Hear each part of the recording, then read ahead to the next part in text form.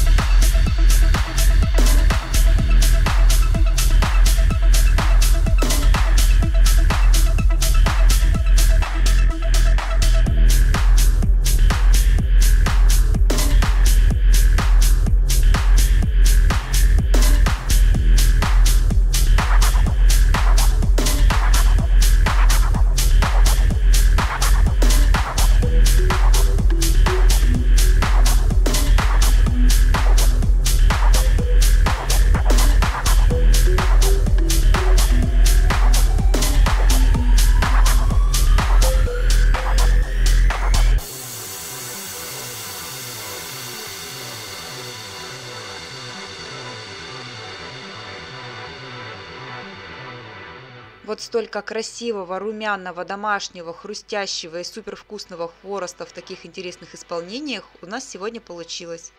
Подписывайтесь на мой канал, оценивайте видео и пишите комментарии. До новых встреч, друзья!